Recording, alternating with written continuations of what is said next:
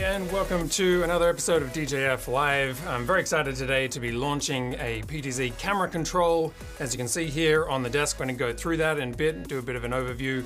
Um, we're going to start today's show with an overview video, which will run for about seven minutes as we look into what I've created here, uh, companion profile to control um, PTZ cameras, Canon PTZ cameras and then we'll return with a bit of a Q&A.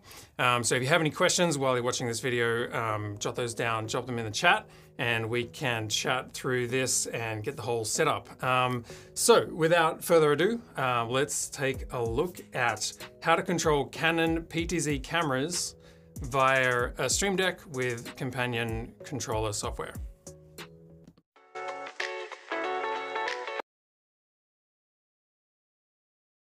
All right, let's redo that one again. Full start on VLC, full screen, play. If you're looking for a way to increase the production value of your live streams while avoiding the ongoing cost of camera operators, then check out pan tilt zoom cameras or PTZ cameras. They're a great way to bring fresh movement and coverage to your production. They can also go places where camera operators cannot, for example, mounted to the ceiling of a venue, or keeping a low profile on stage, or even removing the need for a camera operator to be physically on set at all. There's also simplicity. You'll see here I have a single Ethernet cable for this ceiling mounted camera that is providing power over Ethernet, camera control, and NDI video out. The wonderful thing is that after your initial investment, these cameras will continue to work for you around the clock, day and night, and can be automated to perform maneuvers like this one that you would otherwise need to hire a dedicated operator for. So how do you control these cameras? Well, I've created the DJF PTZ profile for the 32 button Stream Deck. Now as a solo operator, you can control four Canon PTZ cameras while also switching a show. And this whole setup is a fraction of the cost of Canon's own control surface. Not only will this keep your desk tidy with a compact form factor, but there's a ton of control packed into 32 keys that goes way beyond the normal camera control. Let's take a look at some of the key features. We've got manual control of pan, tilt, and zoom. You can easily switch between a fast and a slow speed at the touch of a button to either reposition quickly or to perform an on-air maneuver. You can recall 10 preset positions for each of the four cameras at the touch of a button, and you can save presets simply by long pressing that button, just like you would program your car radio station. You can easily switch your camera's drive motor between time mode and speed mode and reposition mode. Likewise, there's a slow fast preset button that will change the speed of your maneuvers as you go between recall positions. For instance, I'm at recall position number 2 at the moment, and I can smoothly zoom out to recall position 1 at the touch of button. You can also turn cameras on and off by long pressing the camera button. Then in the camera settings menu, you have full manual control over gain, shutter, iris, white balance, and the focus, the image stabilization, digital zoom, setting a custom white balance, and also the focus speed. There are three user picture profile settings that you can modify for your own purposes. For instance, you can switch between daylight or tungsten white balance. There's a full auto mode, or you can toggle the manual shooting modes between aperture priority, shutter priority, program mode, or full manual. If you hold down the manual button, it will jump to full manual mode. Likewise, you can hold the manual button to reset base parameters such as gain to 0 dB or shutter to 1 60th. Then when you have all your settings dialed in, long press a preset button to be able to recall the position as well as picture profile settings instantly. There's also something I've uniquely developed which is called a gang mode.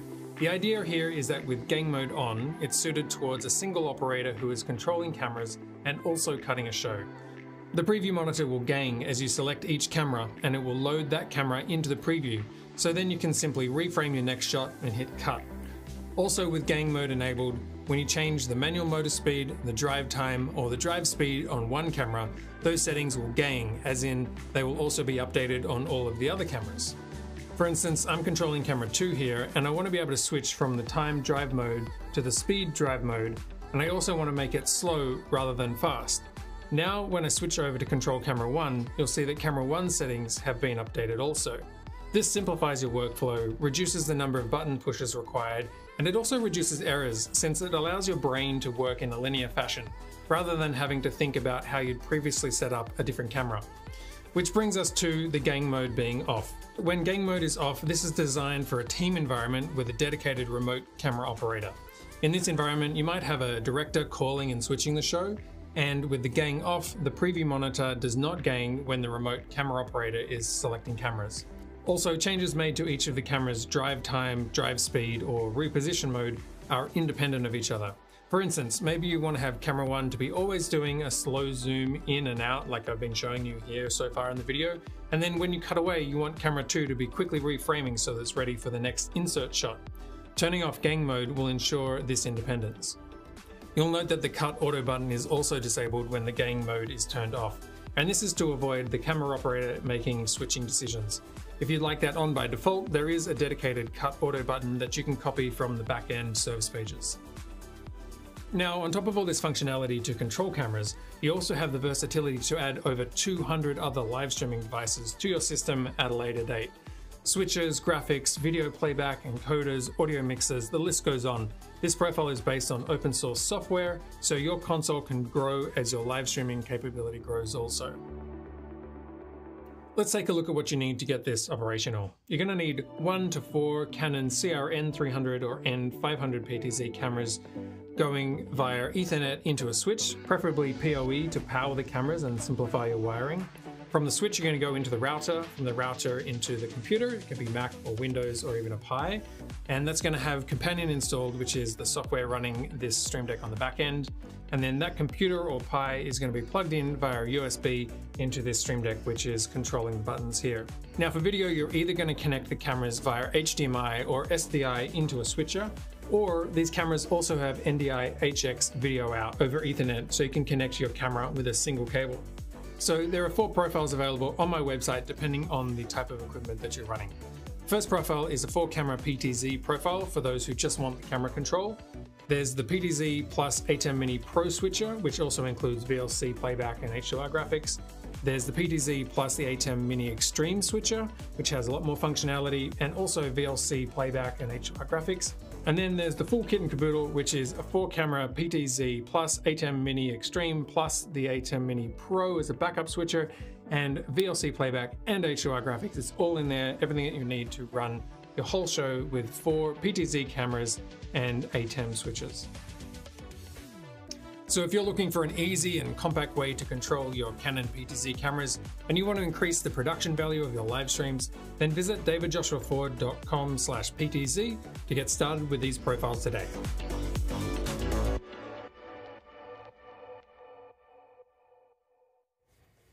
All right, what do you reckon? That's the PTZ profile that I've developed here in order to control four Canon PTZ cameras. Um, so normally this camera is up in the rig, um, as you've seen in my previous shows. Um, but for today, I decided to just bring that down and so I could take a closer look at it. Also, it gives you a bit of a size perspective. Um, this is the Canon CR N300. There's also a 500 version, which is double the cost. Um, but this one's actually, it's quite small. Um, it's very easy to move around the picture quality out of it is probably going to be akin to getting more of like a, like a handycam style. I mean, you're looking at the quality here. Um, I've got a second PTZ on my um, in my auto cue um, teleprompter up here. Um, so this is essentially the, the quality you can expect out of it. It's 4K, um, just running in HD through this ATEM Mini Extreme. I think the one thing with these cameras is they do require a fair amount of light. So I've got some aperture um, light domes here to just like boost that up. Um, otherwise, you're going to be boosting the gain and probably getting a bit of noise. Um, but other than like um, the light and um, like a smaller sensor, these are very handy for a live streaming production where you want to be able to get a whole bunch of coverage and you don't want camera operators to be um, here all the time. I mean, uh, you know, I do this show once a week, and if I had to hire a camera operator to come and like do all this for me, that would be way too expensive. Um, so it's very nice to, and also not practical. Like with this uh, profile, as you saw in the video, you can actually um, build presets. So a lot of what you've seen on this show, like the opener to the show with the, the zoom in, that kind of stuff, they're all um, preset positions. So I have like a wider shot and then a tighter shot, and I'll go between um, position one, position two over a set amount of time. So once you've set up those various points in your show, then you can recall them very easily and you can get maneuvers that um, would be probably challenging for some camera operators to deliver that smoothly and certainly with that repetition over time. Also, like for the vertically mounted cameras, um, you, you, can just get them into places where you couldn't get a camera operator, you know. So it's a very light camera. I could fix that to a balcony or something if I want to get a shot over an auditorium. Um, or, you know, in this studio, I have it usually clamped to the, the ceiling to be able to shoot down um, and onto the stream decks to show you what I'm working on there. Um, but on uh, today, I've brought it down onto the desk and I've got a Stream Deck here so we can just sort of move through some of the functionality.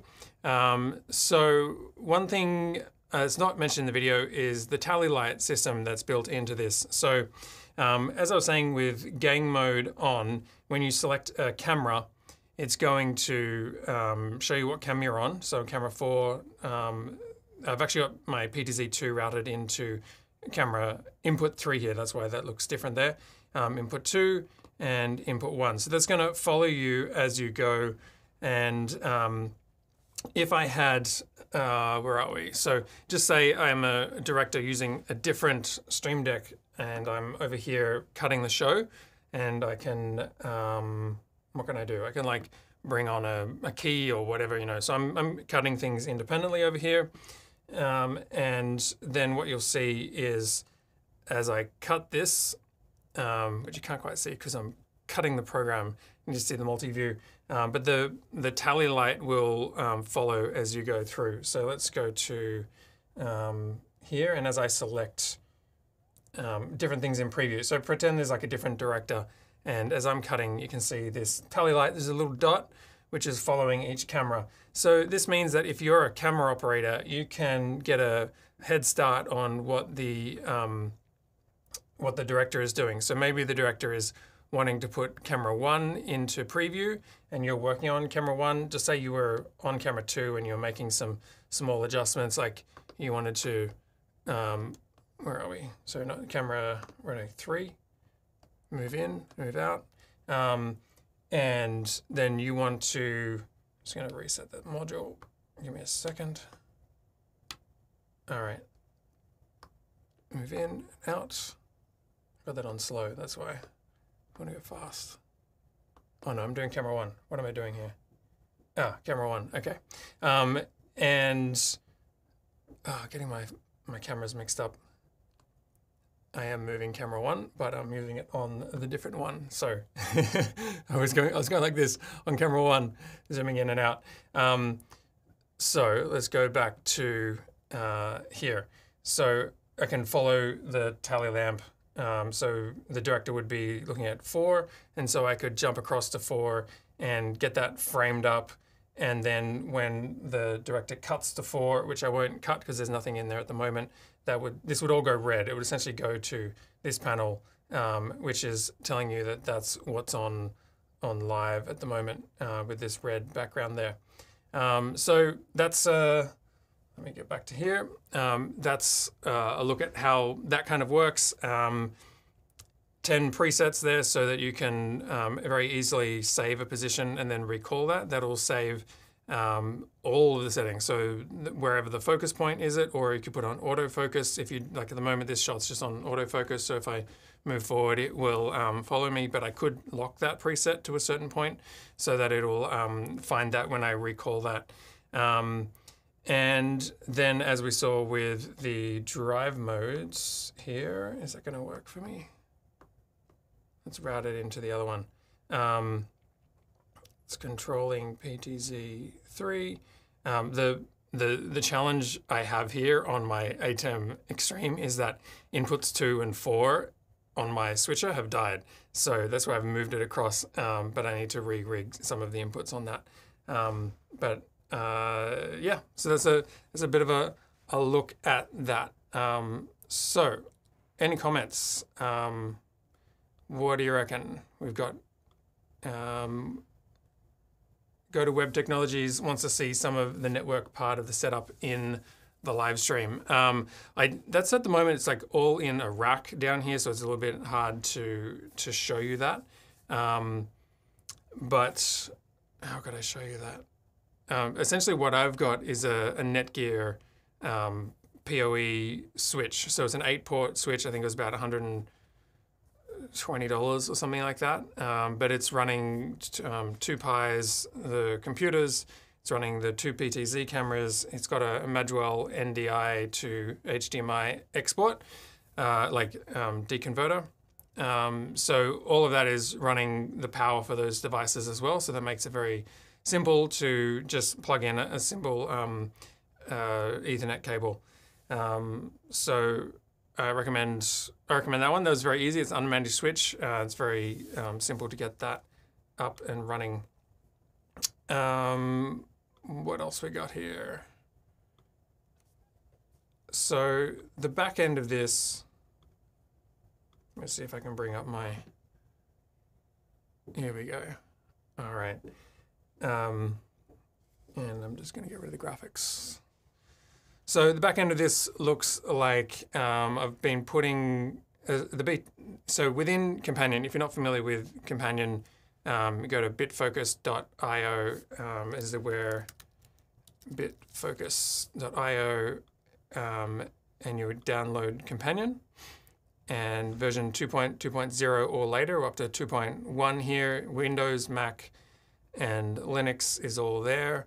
Once you've installed that and you launch the GUI up here, um, that's where all of these modules will be installed. You go to buttons, um, import, you're to import the profile, and then the PTZ is actually, so this is the extreme page that you're looking at here.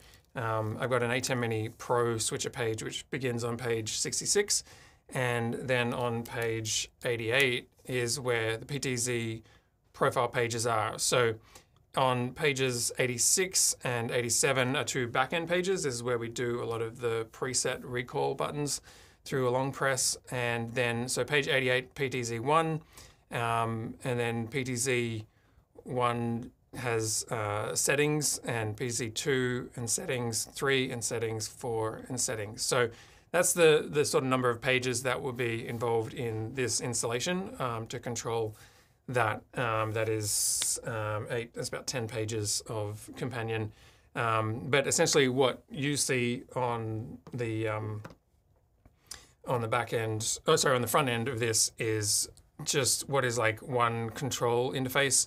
Um, so you've you can just control each camera like that, and you can jump into the settings for each camera. So for camera one um, or for camera two, control the settings there as you saw in the video. Um, so back here. Um, and then on the back end here is where there's a couple of buttons which can be customized. So we've got the cut and auto button.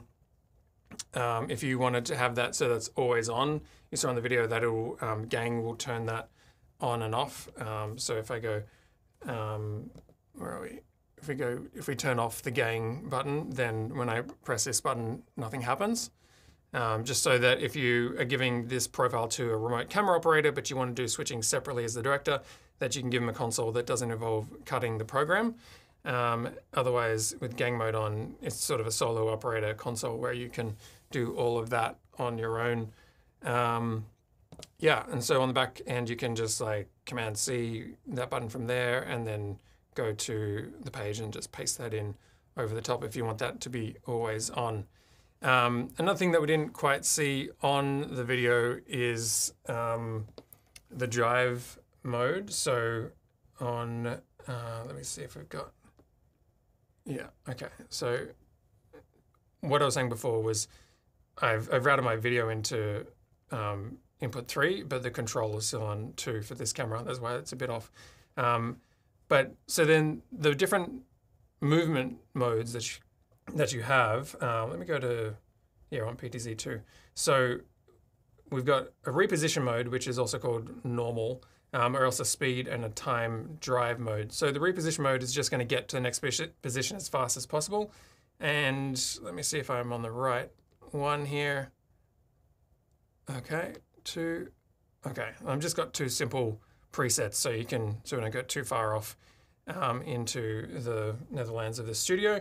Um, all right, so see how that was pretty quick, and then on you can choose either like a speed mode, and that will this is like the um, what's this one? This is fast one, so going in and out. Or you could hit this button to bring up a preset of slow. So maybe I put that on 20 seconds and then I move into this one. And so that'll just give me a very slow move in. Um, under the settings, this is where you can actually manually set a time. So if you, for example, wanted um, like a 15 second maneuver for a program, you could you could do that in here by just setting 15 seconds. Um, and then when you when you go back to here, it's going to take 15 seconds to get back to whatever position you're calling here. So I've uh, also got a bit of different exposure settings there. You can see that's why it adjusted um, the iris. So the iris doesn't really adjust over time. It kind of happens right away. Um, whereas the, the other sort of pan tilt zoom functions, they'll happen slowly over a period of time. Um, so that's how that drive mode works. And so essentially what you're wanting to do is you're um, bringing up a camera. So I might bring up camera one, but let's just work on two for the moment. And I would bring this up into, uh, I would either like reposition if I'm off air and I just want to like very quickly pull up a different position. Um, or, and so, and then maybe can like find my starting point and then I would switch it into to the drive mode, either time or speed. Um, here I'm using a 15 second one and I would um, hit, I would begin the maneuver and hit cut. Now, when I do that, it's going to jump across. So I'm just going to um, begin the maneuver and then you would hit cut. So that's where that would come into the next position. Um, so you get a smooth transition between shots. All right. Let's take a look at some questions. We've got some questions coming in. Um, and so thank you for that. Um, John says, Good evening. I got your email, John. I will respond to that. I've been madly setting up for this uh, live stream, so I'll get to that. Um, great question here from Emmanuel, which was Can you use these setups only with Canon cameras or can you use other brands? So, um, this particular profile that I've got on my website that is only going to work with those two Canon cameras. Um, there are a ton of other camera, a uh, ton of other PTZ cameras out there on the market. Um, you know, there's there's a ton to choose from. So if you want to control those, there are ways of doing that through the companion software. There's other modules. Um, I just I own two PTZ cameras, so I was able to build this particular profile for the Canon ones, um, which is why I've sort of like invested a whole lot of time in these two ones. It would be great if we could just like switch them out and plug it in, but the uh, the module that is in Companion is um, speaking to a specific can, um, Canon protocol, which is I think is XC or something rather than Visca. So it is a bit more specific. So it's a great question because what I'm showing you here today is, um, at least in this incantation, is limited to those two Canon um, PTZ cameras. But with those two cameras, it works very well, and I would say I I like I, I, I guess all my other cameras are Canon, so I, I just like Canon as a as a brand, as its image quality. I've been using it for 20 years or something. Um, I've just bought the R5C, um, new RF lenses, so I'm very much in the Canon ecosystem. Not that you necessarily need these PTZ cameras to, um, you know, you don't need Canon cameras to be in the PTZ space. And there are cheaper versions of it. Like this one here is about 2,600, I think, um, for the 300 version, and it's about double that for the the five, the N500 version. So they're not cheap. Um, you know, you could buy some nice um, cinema glass for that kind of um, cost. But uh, for me and what I do in live streams and also just here in the studio, I wanted to have some cameras that were automated so that I could build that into a run of show. So what you saw in today's um, setup from um, cutting to a camera and then it um, comes into this position. And then as I go to a video, the camera will reposition to something else. All of that can be programmed into a Stream Deck, which makes it um, very handy. And when it comes to live streaming, I've just found using PTZ cameras so much easier than um, playing around with DSLRs because they're always on and I don't mind them being on because they're kind of built for that. So I'm not sort of thinking of putting tons of hours on a cinema sensor. Um, but it's mostly that pan tilt zoom function, you know, the remote function of that to be able to um, control a camera Um, where I think they come very, very much in handy, like PTZ cameras, is when you can combine them in a live stream. So just say you're doing an event and maybe you have two or three PTZ cameras and they're like a wide shot and maybe you've programmed some um, functionality that sort of zooms in a bit or zooms out just to give it a bit of life and maybe some like sort of cross shooting with two more cameras. If you're doing a panel discussion, you could have preset positions where you quickly recall different panelists and you could assign them to buttons with people's names. So you could hit John, you know, and hit that button and it'll just pull it straight up and then you can cut to it that makes that um, very easy for a single operator kind of um, control cameras and cut a show, you know, in an age of multitasking.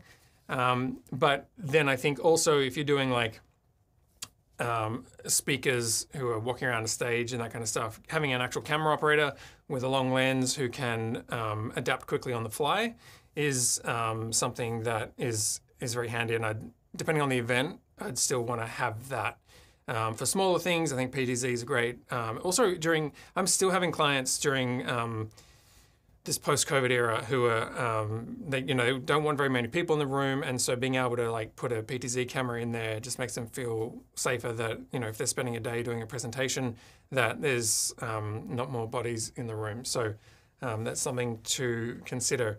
the main, I think, so if I was to talk about some of the limitations of this, I think the main limitation of this implementation of the Stream Deck is the not having a joystick. I think having like Canon's actual Canon sells like a two thousand dollar console, which has a joystick on it, and that uh, would make that easier to like manually you know move around and um, just the you know the, the, physicality of a joystick I think is great.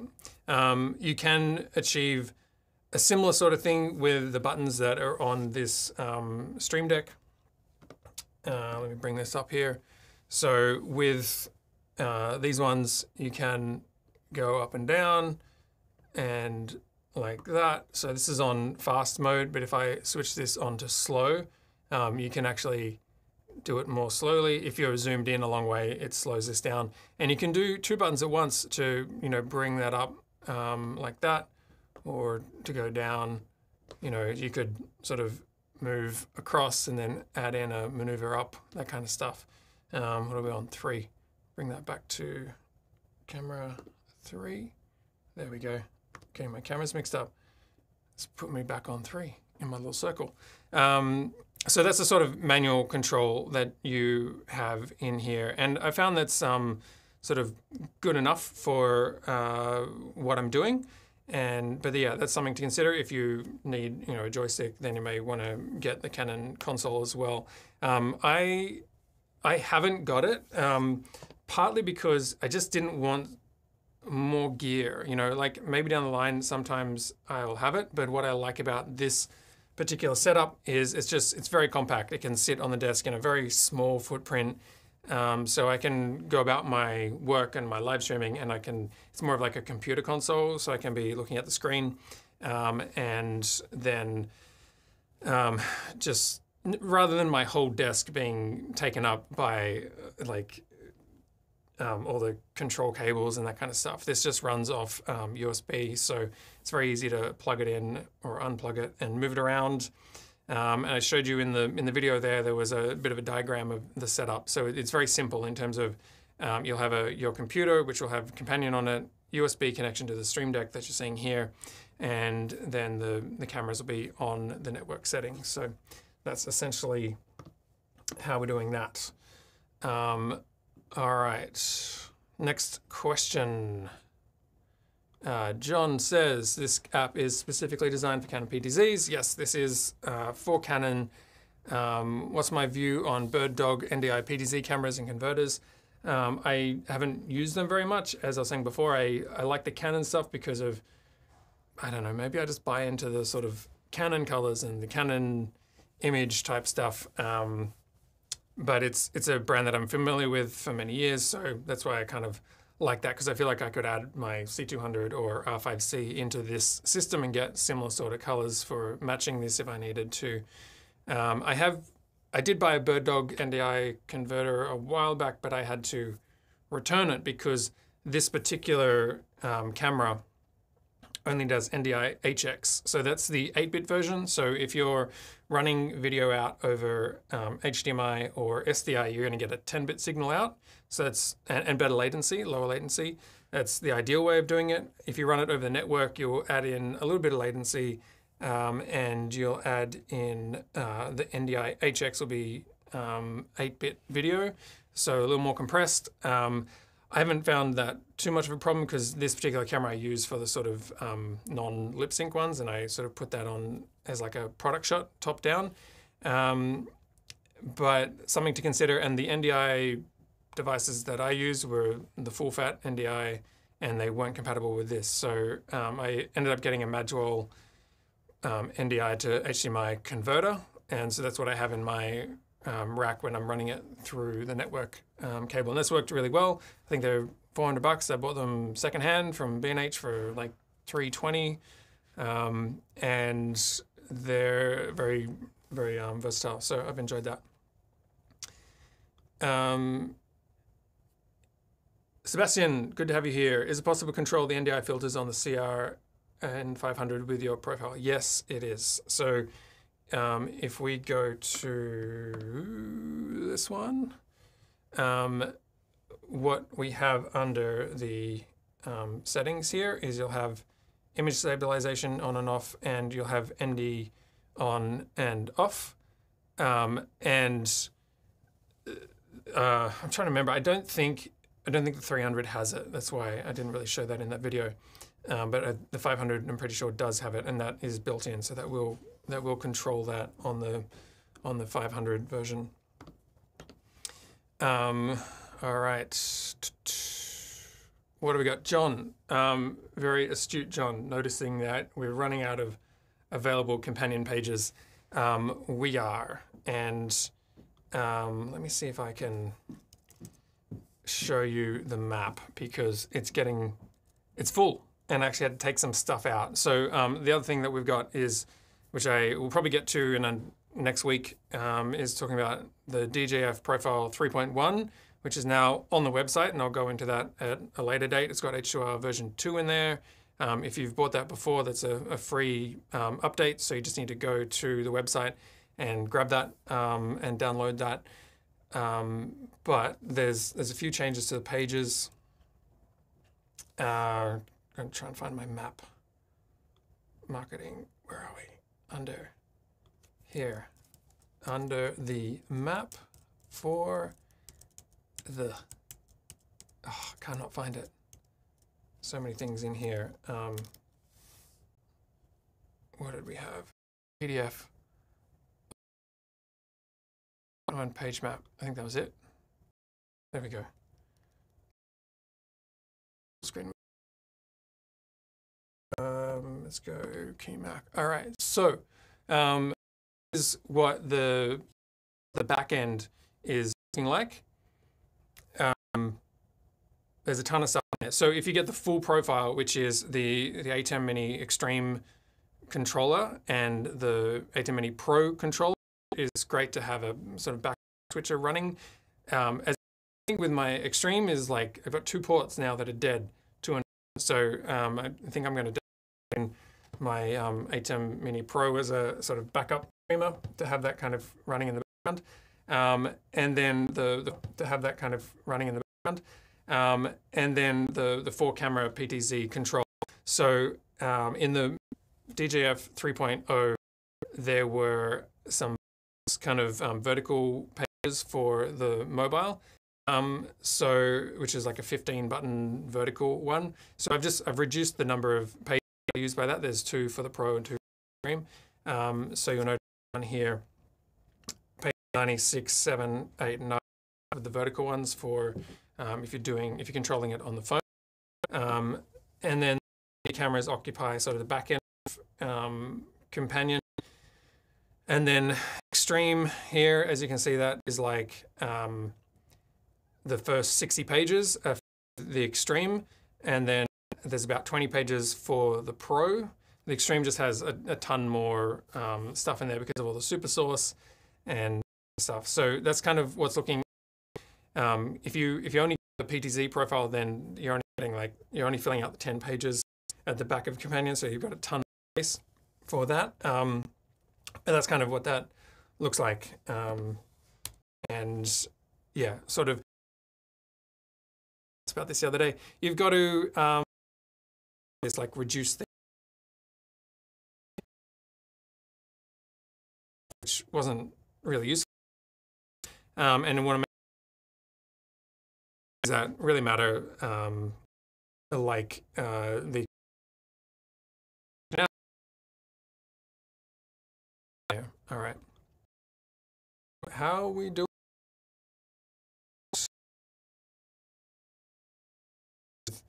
uh,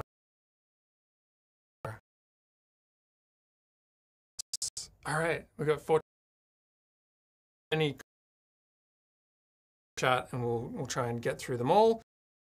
Otherwise uh, let's the thing. Um, yes answer that um, cameras um, I think I probably went through that. Um, just uh, uh, is Canon and I've always shot lenses and if you can invest in a particular and get to know that really goes a long way because time really matters. Um, fumbling around with the capabilities and limitations back to back. there are definitely some limitations with that camera. Um, to a V mount I've found it to, and I've had the camera like camera, and it is still stuff can do and what it can't do. Stick with a. What is the best way to get live feed from PTZ stations via or um, that's probably a bit more in-depth to right now. Or is basically um, on uh, sending video over the network have a um, under my let me see if I get this here we go um, so under, clean this up a bit. So under my Magewell device, um, I have this uh, video. So we can, you know, choose what we're outputting to. I'm just doing 2997p and we can choose audio and we can select a source. So I've got um, two PTZ cameras on the network and they're both sending video. So if I wanted to, I could actually switch the Magewell device to be um, receiving the um, PTZ1 camera, which is what you're looking at now. So what you're looking at here in this screen is uh, my, whereas my PTZ2 is normally plugged into uh, the Magewell device and sort of coming through that way. Um, so that's, that's, that wasn't too bad. There is a little bit of like um, back-end type stuff, which um, takes a, a bit of like settings and that kind of stuff. And I will do a blog post at some point in terms of what settings to use with these particular cameras um, once you get that set and you can control your network, so like having your own router, I think is very important in this scenario that you need within your sort of local domain. Um, you don't want to just like go plug it because these cameras do need to find particular addresses and setting that up before you get to location is is definitely the the way to go. Um, um, uh, John um, HX. HX the four have NDI built into this. Um, if it was, you know, 10 bit. But two Stream Decks or one for the PTZ. Could plug in as many Stream Decks as the and the power can handle. And I think that Stream Decks of I've got two, so I haven't really tested in terms of its uh, reliability. You, um, you computers like you could have someone running audio, or someone who's like a um, remote this profile to control the have a different director um, network, but uh, bad. Bu-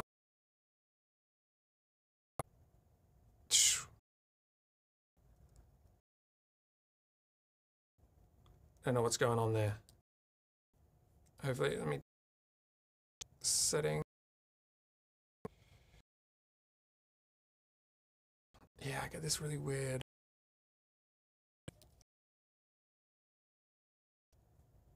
Hopefully we're um, we're gonna um, I I don't know ATEM Extreme.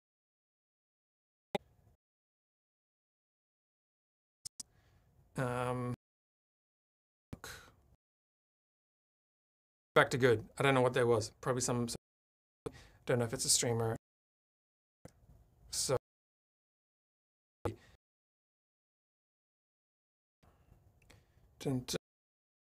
This question.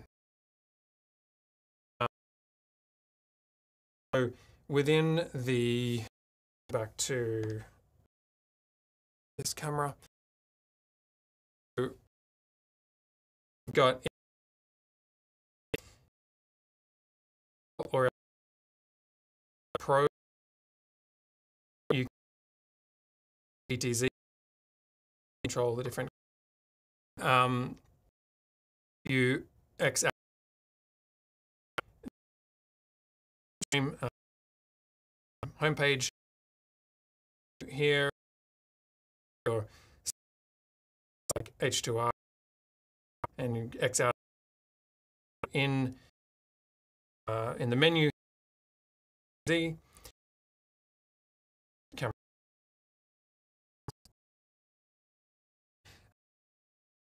Kind of menu system works. Any stream deck has access to all those. You can have multiple multiple ones. Right so API for live events with that is happening from and see have the I wouldn't recommend using the event um, because you start to notice about about 20 milliseconds. Um, depending on your that kind of stuff. So, um, yeah, but um, the best, and then HDMI would be more latency. You're getting 10-bit image out of these cameras, so that's pretty good there.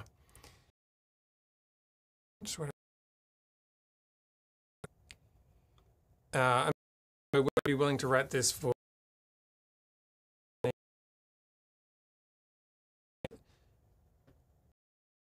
into that at some point. I wanted to for these particular cameras, which is using the Canon Pro. It's like a lot of a lot of the commands work, but so that's where. Um, but there may be uh, room down the line to sort of take what I've got and I could maybe adapt it for a more generic um, interface